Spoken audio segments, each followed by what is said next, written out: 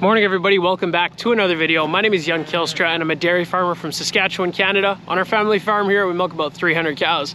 And in today's video, we're gonna start dealing with an issue on our farm that's kind of been pressing for the last week. I guess since the snow started to melt, we looked at our liquid manure lagoon here and it was a lot fuller than we initially expected. Throughout winter, the entire pit gets covered with snow and you can't really see it at all climbing and, and filling up and then all of a sudden the snow melted and we hardly have any storage left. I use a little measuring app on my phone and screen recorder so you guys can see exactly how much room we have left in here. But uh, the reality is this pit is simply gonna overflow before the fields are completely dry. A lot of our fields right now are still snow covered and uh, they're, they're just not gonna be dry by the time this thing overflows. So this morning we are gonna grab our liquid manure tanker from our other farm. We're gonna have to hook it up to the Buhler Versatile the Case MX285 is once again an open heart surgery. But uh, yeah, we're just gonna go and grab that tank. Gonna first drive out there with the farm truck and make sure all the tires are round. It seems to be every time we go to that thing, after you know five or six months, there's always a round tire on that tank. So hopefully we're lucky. I know we replaced one last fall and all the tires are still around. We'll see how we make out this morning. But uh, yeah, we gotta start dealing with this pit pretty soon here. Well, we got the Versatile running. We definitely had some issues this morning getting that thing going. Uh, the fuel uh, was not getting to the engine right away, so we had to pump the fuel to it, and we also had some battery issues, so we had to put this thing on the charger yet as well. Uh, so rough start, but we got her going anyway. So this Versatile has had some upgrades over the course of winter. Biggest thing are the lights. We're gonna go over those quickly here. So we got a light bar on the roof, it's facing forwards, and we also got two more on the roof that are facing sideways. Now this is because the Versatile is a tractor that we always run in front of our pull type sprayer and occasionally in the summertime we end up spraying at night. So these side light bars on the cab are gonna flood the field with light specifically on the booms of the pull type sprayer. So our sprayers, they got a 135 foot boom on them. Sticks out pretty far out the side. If you're going in crop at night, you wanna be able to see those things. Make sure they're staying out of the crop and uh, those light bars are just gonna light those things up nicely. But with that, we're gonna have to take the hammer strap or the clevis off of the hitch of this tractor so that we can hook it up to that liquid manure tank. So that's what we're gonna start out doing.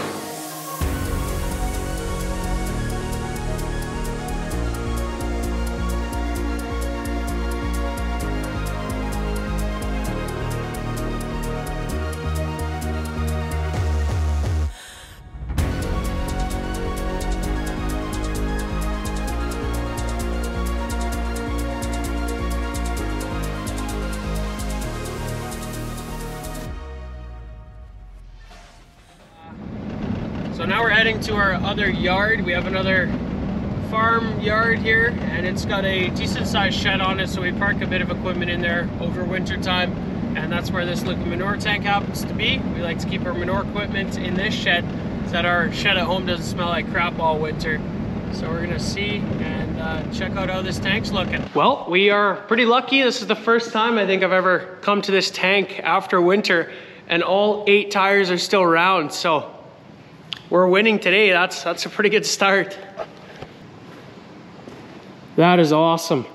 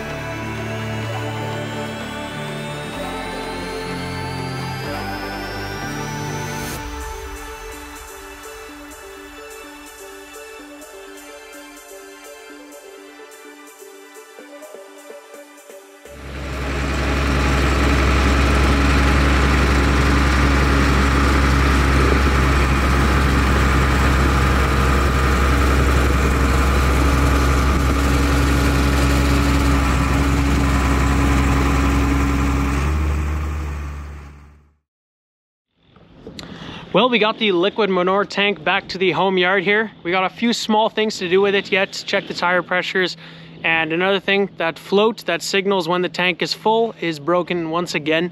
Seems to fall off every single year in the tank. It's just a plastic float, but doesn't last too long, so we gotta maybe work with that. I usually just time the loads though and uh, see how long it takes to fill it and we'll go off of that. Works pretty good. So a couple few few small things to do yet before we get this thing going, but pretty close. It's the next day and we're standing in a very clean calf room here. A couple days ago, we took all the calves out of here, and then yesterday, my sister Elaine, she went ahead and pressure washed and disinfected this entire room. So it is looking pretty nice and clean. I guess with a calf barn like this, you have a couple options for bedding. The first one, of course, would be straw. You could throw small squares in here.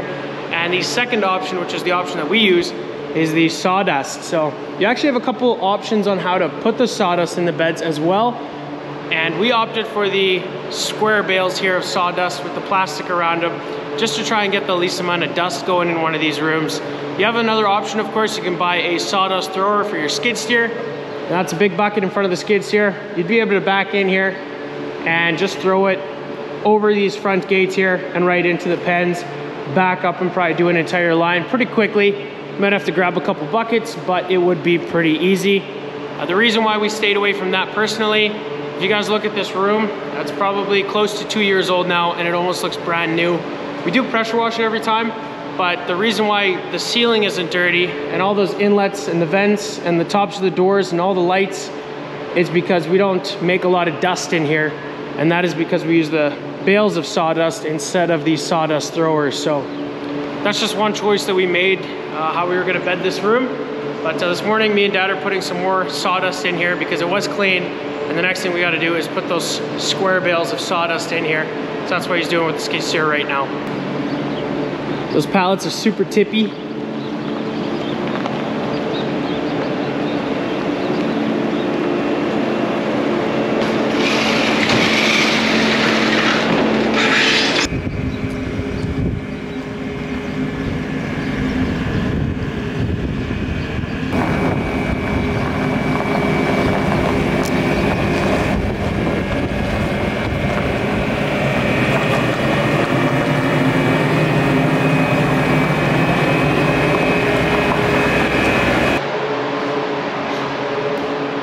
Four rooms in this calf barn and now every single room has enough sawdust probably for the next uh, couple weeks here.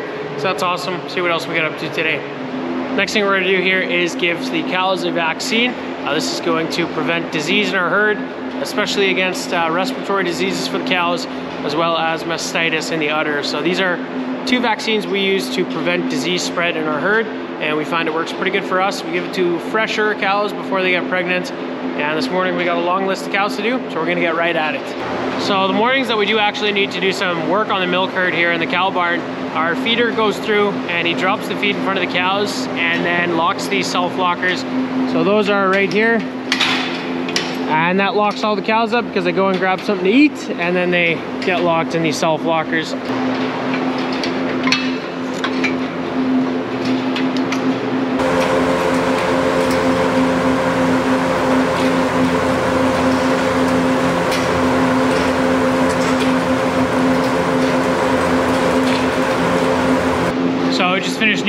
All the cows there. We do use a new needle for every single cow. This adds up really quickly, but it also helps prevent the spread of any disease in the cows. And uh, another thing, if we're doing more than 30 cows, usually I'll type out all the numbers on an Excel spreadsheet and then order them from highest to lowest. This makes it a lot easier to go through your list of cows and to not miss one when you're walking past all the cows uh, like we were just doing there. So that's another thing done for today.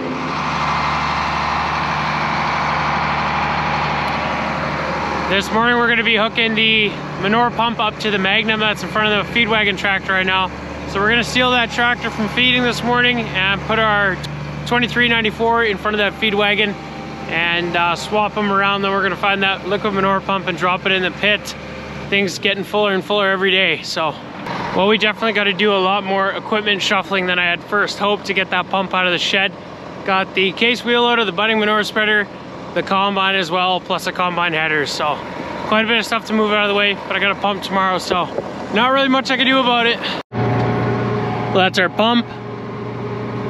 Bren's putting the combine back in the shed there. Always looks funny when you see those things driving over top of snow.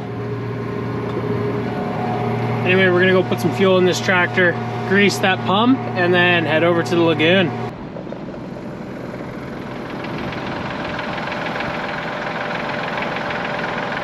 Well, we got the pump backed up to the lagoon here. There is a pretty uh, big ice layer on top of this lagoon, but I was just able to kick through it right here. So um, just on the edge, definitely don't want to fall underneath that ice there. But we are gonna try and drop this pump through that ice there. Hopefully it's not too thick on that spot right there. We'll see how it goes.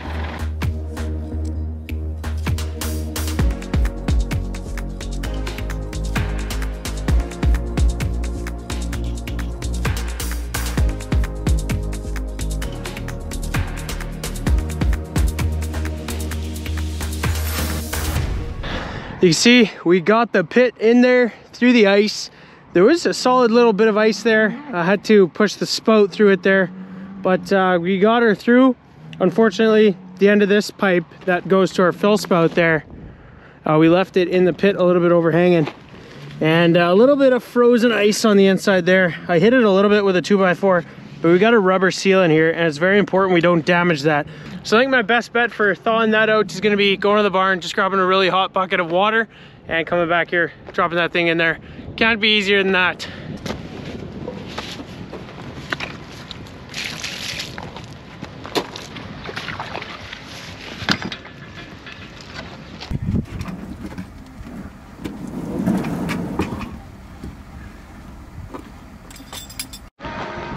Well, fill spout is lined up.